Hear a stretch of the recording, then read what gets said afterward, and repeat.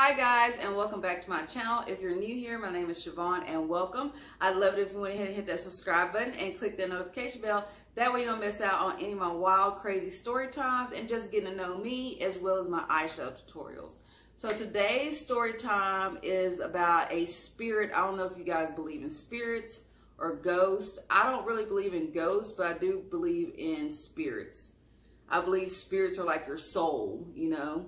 So, um, so this is about, I don't know if this spirit had a crush on me or if they were there just to console me. And I would like to think that this spirit was there just to console me because I was really going through a hard time in my life.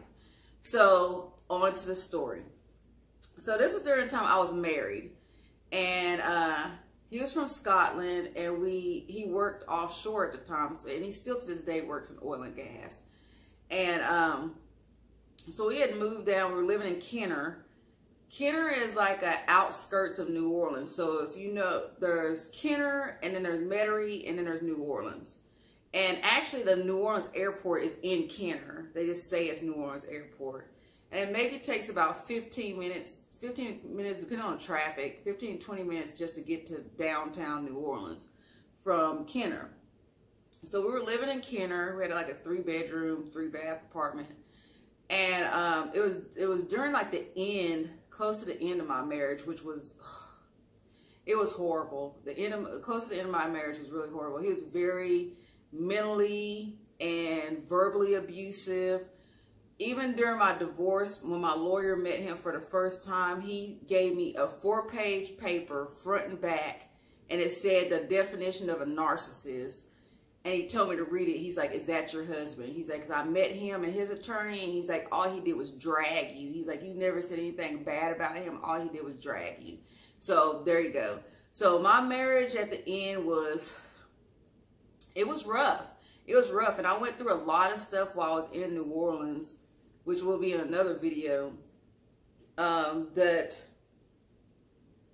I mean, I, I'm, I'm just to say, I battled with so much stuff. I learned to, to love the person I am. I learned that I was a very strong individual while I was living in New Orleans and while I was going through that marriage.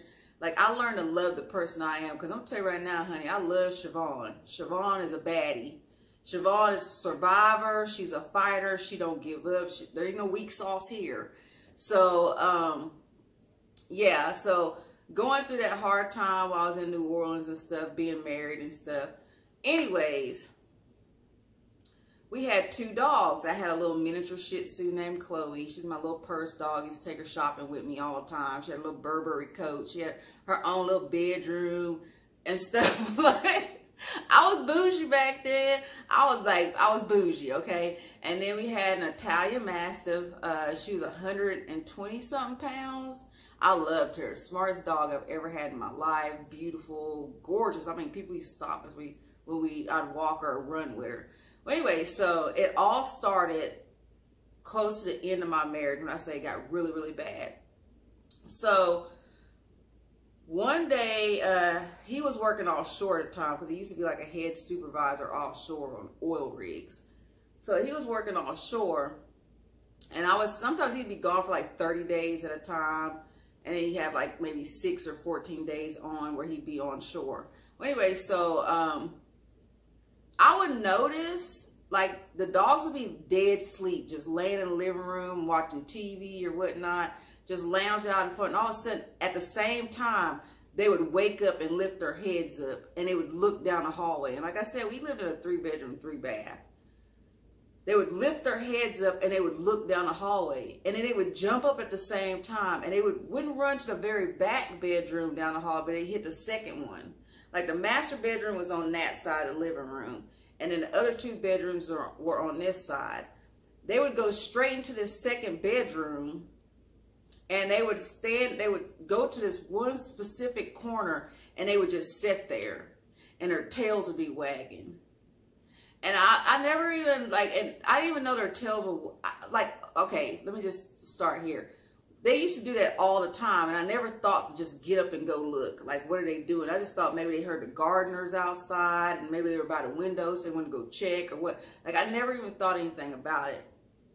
And then one day he had came home from offshore, and um, I was in the kitchen cooking, and I used to always sit by because I had them trained to where the we had carpet in the living room. Well, no, we didn't. We had in that apartment we didn't have carpet. We had hardwood floors all the way throughout. We only had carpet in the bedrooms. But they knew when I was in the kitchen they couldn't cross this line because I didn't want to like spill hot stuff on me or the dogs. So I had them trained where they would sit just right there. So anytime I was cooking, they would go and just sit and watch me cook, hoping I'd toss them a crumb. So they're sitting there, and my husband at the time was on a sofa. I think he was on his laptop or something. But they're sitting there and they're watching me cook. Then all of a sudden they just, they both at the same time like turned around. And they looked, they were looking down the hallway. And then they just took off running. They took off running. They ran to the second bedroom. And I'm thinking to myself, that's weird. But I did notice before, like there'd be times when he, were he was gone, they'd be laying on the rug we had in the living room, just passed out sleep, and they would both lift their heads at the same time and look down the hallway and then jump up and run into the second bedroom. Because we had, um, like I said, the master bedroom on this side, and we had two bedrooms this way. And we had the second bedroom was here, and the third one was at the very end of the hallway. So um, they would always run into that second bedroom. So that day when I was cooking and he was on the sofa, and they turned at the same time, turned their heads at the same time, and took off running into that second bedroom. I like I was laughing it off, and I told him I was like, they do that crap all the time. I don't know, like what's in, like what is going on in the second? Is there are there gardeners out there? Like what's going on? Because they always go into the second bedroom, and he just kind of laughed off. He's like, I don't know. So that that passed or whatnot. They came back out. They got their food and stuff like that. Then the very next day, it was the same thing. They were laid out on the rug, sleep, and then all of a sudden their heads lift up, and they look down the hallway and they jump up and they run into this, the second bedroom. So I'm thinking about myself, okay, this is weird. Let me just see what they're doing in there because I didn't hear any lawnmowers or weed eaters or nothing like that. So I jump up and I walk into the second bedroom and they're sitting side by side staring dead at this one specific corner in the bedroom and were just sitting there with their heads tilted like this.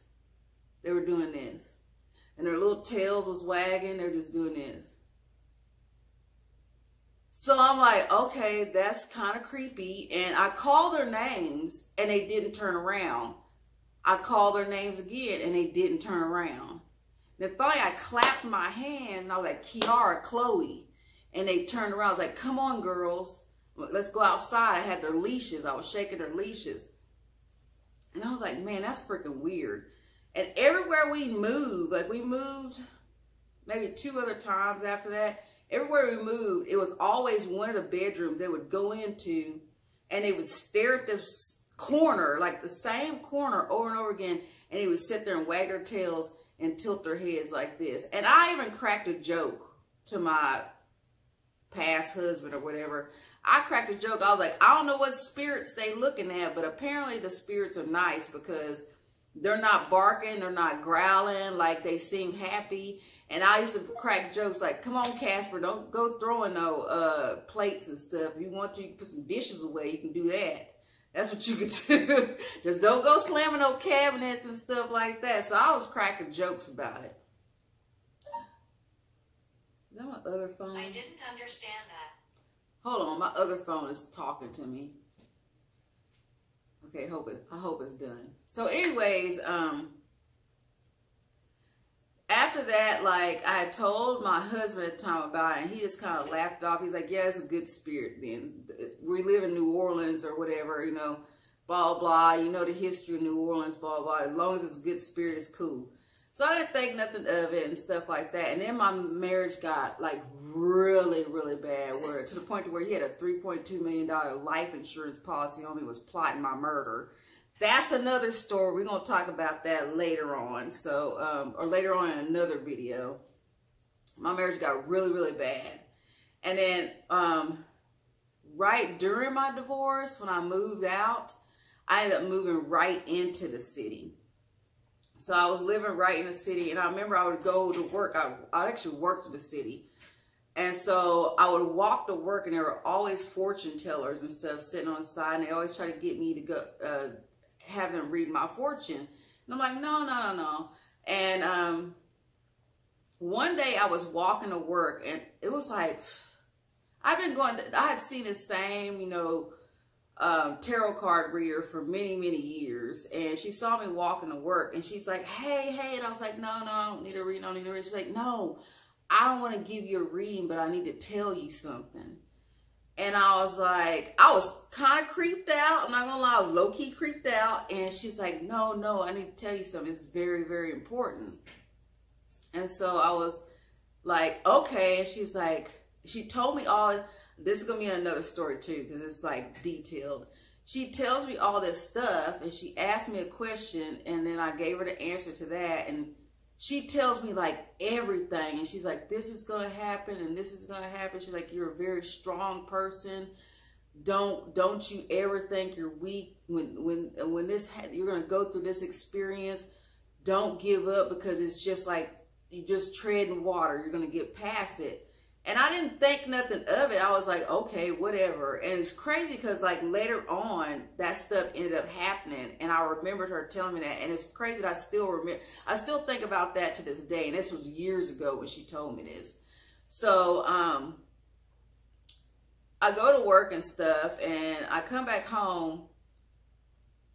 And just when our, our divorce started happening that was rough. Like I know divorce is rough, but when your lawyer tells you it's the worst divorce he's ever seen in your life, that's that's scary. That's real scary.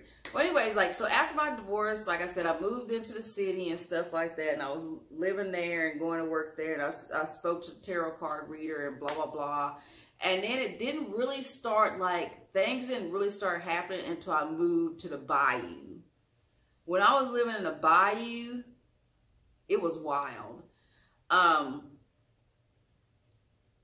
there was times where I would feel like cool breezes come by. It was like nothing cold, but you know, Louisiana itself in the summertime is like scorching hot. Like the humidity is insane.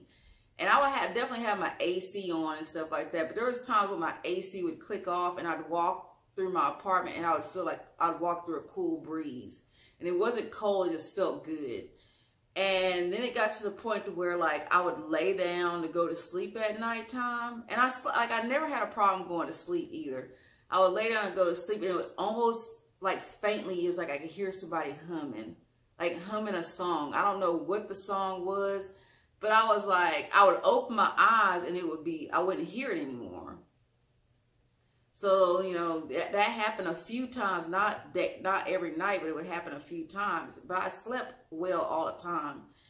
And then one one night I went to sleep. It was probably like a month later I went to sleep. And like I said, I was going through a lot. Like y'all don't even understand. I had to tell a story about like the the tragedies and traumatic experiences I went through during my marriage and after my marriage. Like it was insane. Like it, it really made me learn to love the person I am and know I have a strong heart and a strong spirit. But anyways, back to the story.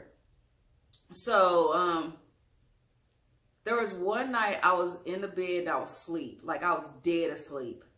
And it was like I felt someone just like brush my face and brush my hair. And I thought I was like, I really thought I was dreaming. So I was laying there and I'm asleep. And I feel like just this light almost like when, if you have a child or a baby, you just like stroke their head to get them to relax. It was like that. And I didn't wake up because I thought, you know, I'm dreaming, you know, whatever. It felt good. It was very um, soothing. And that happened to me like probably for a week straight. And it was during the time I was really, really stressed out and stuff like that. I went sought out therapy and everything during the end of my marriage. And so I was really, really stressed out, but it was very soothing and stuff. And I actually dealt with a lot of insomnia for many, many years too. And that was like the only time I was able to really go to sleep, you know? So anyways, so I'd always feel like this, like, I don't even know what it was like a soft brush on the side of my face to my hair and over my ear. And sometimes I'd feel someone like doing it. It was almost, I'm telling you, it's like when you have a baby if you like stroke their ear or you brush the side of their face, they go right to sleep. That's what it was like. Well, then that passed, and I would get up every day. I felt great, didn't think nothing of it. You know, my pets didn't ever like freak out, didn't start going back to the corners and stuff like that. So, the the next probably the next month, it was probably or two. It was probably two months later. I went to bed and I laid down. I went to sleep. Didn't didn't think of nothing else. Didn't think of nothing, or didn't think anything of it. You know, I went to sleep I wake up and there's like a rose petal on the floor right by my bed. And I stepped out and I was thinking, okay, well, maybe I tracked it in. Maybe it got stuck on the bottom of my shoe. You know, I don't know. Maybe I tracked it in my apartment. So I picked it up and I took it, put it in the trash. Went on about my day. Went on about my day. Couple days later, slept, nothing. Nothing happened. Nothing happened. A week after that, I wake up and I have like an end table right next to my bed. I wake up there's like two rose petals set, sitting on top of my end table. There's no roses anywhere around my apartment. There's no roses around the block. I didn't see not. I used to be a runner. I used to run half marathons when I lived in New Orleans. No roses did I ever see uh, in the apartments in the block that I lived in. So I'm like, where are these rose petals coming from? And I know I know that I wouldn't like perfectly place two little rose petals on this end table. So I, it freaked me out, but I was like, don't think too much into it, Shavonne, because you're gonna mess you're gonna mess with yourself, you're gonna make yourself crazy, blah blah. So I picked the rose petals up and I put them in the trash. Went on about my day, went on about my day. About a month later, I go to sleep and I wake up in the morning and there's like a whole, it's like a half a rose. Like some of the petals were plucked off, like half the petals were plucked off, but it was like half of the petals were still on it. And it was like just the head of the rose. It didn't have a stem or nothing. It was like someone clipped the head of the rose, but half of the petals was missing, and but it was laying on my nightstand. I'm freaking getting chills just thinking about it. Like it gives me so many chills. I want to cry because it freaks me out, but I know the whatever it was, was trying to console me and trying to let me know that I was going to be okay. And I'm trying not to cry either because it, I get really emotional when I think about it because that was like a really rough time in my life.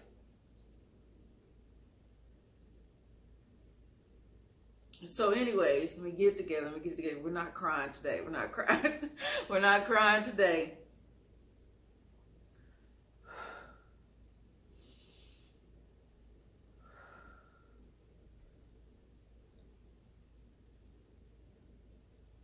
Get yourself together, Shavonne. Get yourself together.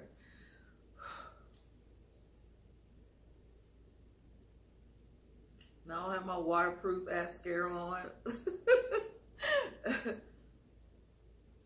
so anyways, hold on. Ugh, I'm going to clip this probably, I'm sure. So anyways, I wake up and I'm like, man, this, I was like, what the F, you know, what, what is this? So I get up and I take the, the rose and I put it in the trash. And like I said, my pets are not acting crazy. And so I'm like, okay, am I sleep? I was, this was my next day. Am I sleepwalking? Like, where, how far am I walking to get a dang rose? Because I, I have not seen not one rose bush anywhere in my neighborhood. So, um, couple days go by, a couple days go by, and I go back to bed. Like I said, I'm still battling with the stress of this divorce and, you know, the mental abuse I went through in this relationship. And like, I'm telling you right now, I really lost myself in that marriage. Like, he made me, it, and I never thought I would ever be a female or a woman who could possibly be brainwashed. I consider myself a very strong individual. I have a very strong mindset. I'm a Gemini, which, listen, us Geminis, we hard-headed too. So I never thought that I would ever be a type of woman that would be brainwashed. But he did, he took little steps. Okay, I'm getting into another story time. We're going to go ahead and we're to do that story time next time. But anyway, so, um, probably like two months later, know, everything's going fine. I didn't get any more rose petals or nothing like that. So I thought, okay, well, maybe I'm sleepwalking. I don't know where I'm going to get these roses because I haven't seen any roses around where I live. So, um, probably about two, two and a half months or so go by, I go to bed. And I, it's like I hear the humming, like someone's humming a song. It's a man's voice. It's they're humming a song. I don't know what it is, but um, I'm laying in bed and I open my eyes and I look towards my bedroom door. Oh my God, I'm getting chills. okay. Oh, I'm getting chills. I open my eyes and I look towards my bedroom door and there's a dude. He had to been like six, six two, six three. I'm like I said, I'm short. Y'all probably know by now. I said all the time, like five four. He's tall and his I don't see his whole body, but it's like got chills in my spine. Got chills in my spine it's like his hands are on my like the oh lord it's creeping me out just even talking about it his hands are like on the edge of my bedroom door and he's got his head like this and he's just looking at me oh my god i got chills everywhere I got chills everywhere and he's looking at me like this and I, I, froze. Like that's a bad thing about me. When I'm scared, it's like I can't scream sometimes. It's like I freeze. You know, like when you see some animals where they freeze, it's like if I don't move, they don't see me. That that's how I am a lot of times. So when I opened my eyes and I saw that, I froze. Like I literally was holding my breath. And I was thinking to myself, am I just dreaming? Like I remember closing my eyes again, open my eyes again, closing my eyes again oh my, eyes, and he was still like this, looking at me. And I'm like, maybe I'm just hallucinating. You're hallucinating, Shavonne. It's, it's, there's nothing there. You're hallucinating. And then I said, oh my God. And when I said, oh my God, it's like he pulled his head back, but then he looked, I saw like, oh my God, I got chills. I got so many chills. Then I saw like half of his face. And when he did that, I closed my eyes. I prayed. Like, I haven't prayed that hard for my life. I was like, please, Lord, this is a Christian home, blah, blah. If this is Satan, blah, blah. He's not welcome here. I didn't invite him into my home, blah, blah. And I felt, kind of felt like maybe I did because I've read tarot cards for years. And some people believe tarot cards is like a, a door to the to hell or a door to evil. But I was like, I brought this crap in my house, but I wasn't gonna say that in my prayer. I was like, please, Lord, you know, I'm uh, whatever I did, you know, I'm sorry. This is this is God's home, blah blah blah. You're not welcome here, and I was just like praying, praying, praying, praying, and I had my eyes closed. I remember like these huge, I call them thug tears, honey. When them tears are so big, it's like cartoons where they don't run down your cheek, they pop out your eyes. I had them thug tears rolling, honey. I was like, please, Lord, please, Lord. And when I opened my eyes, he was gone. And it was like, after that, I never saw him again. I never had any more experiences. I never had roses or rose petals left. Like I said before, my dogs, they didn't even like make any noise the times it was happening. So I don't know if maybe, I feel like it was a good spirit that was trying to comfort me during the time that I was going through during the craziness that I was going through in my life to let me know I wasn't alone. Because there was like times where I really like suicide was like top of my list many times during that. It was rough, rough. So I think maybe it was a spirit that was there to help me get through that. And maybe a spirit that was lost in transition and they saw what I was going through and they had like a good heart and a good soul and they were trying to like let me know that I wasn't alone. I'm trying. I'm about about to cry again. I'm sorry, but um, like that. Even though it was scary, it really helped me through a lot. And I don't know who who or what this spirit was, but I appreciate and I thank them for being there because there was a time that was a time in my life where I was just ready to just let, let it all go. Like I lost my older sister who was like my best friend, who was like my mother. She was more of a mother to me than my own mother. I lost three very important people in my life back to back the week of Thanksgiving. And then I was going through this horrible divorce. And my family is not really close, so it was it was a very trying time. So I'd like to think that this was a spirit that was lost in transition that was there to get me through. I'm so sorry.